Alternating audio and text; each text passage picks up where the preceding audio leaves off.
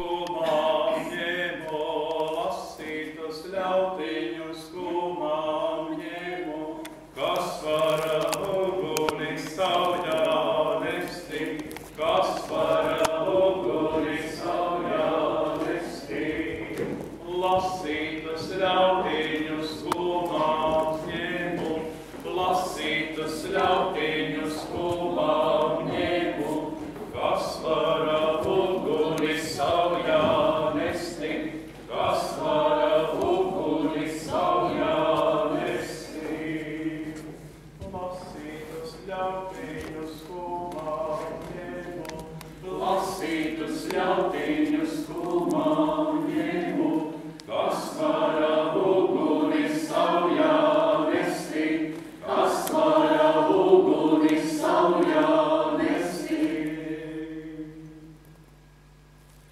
Tagad jāsastājas tieši apli, lai bērnam nebūtu reti zobi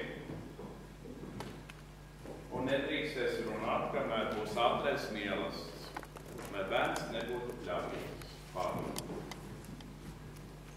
Kā nostāja?